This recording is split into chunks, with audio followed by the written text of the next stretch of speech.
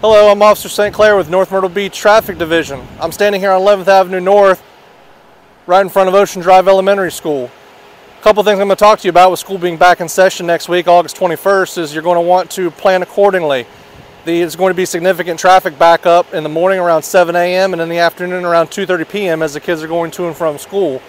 A couple things you're going to want to take note of is as you're coming to and from, there's going to be significant traffic buildup, so you're going to want to slow your speed as the speed limit drops to 15 miles an hour in the school zone while school's in session.